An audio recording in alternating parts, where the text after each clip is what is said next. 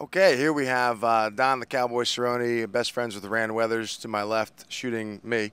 And uh, we just had a blast out here, man. You guys were freaking rioting. Uh, any comments on the show or Rand? Yeah, good old good old Rand. Rand Rand's a cool guy. Cool guy, Rand. Uh, nah, man, it's a good show. You know, it's it was good to see uh, my teammates come out and put on a good show. You know, uh, other than the the controversial fight, you know, I think everything else went went really well. So. Yeah, well, we loved having you guys out, and it was, uh, I mean, we had snow, we had everything possibly crazy, but I mean, we pulled it off, and uh, I think we had a lot of fun. Would you agree? Absolutely, man. It was a good time. Definitely. Outstanding. Come back again and see us? Absolutely. All right, man. well, love to interview you a little more next time, but you all got to catch a flight, and Rand's making me nervous, so we're just going to go ahead and wrap this thing up. But, uh,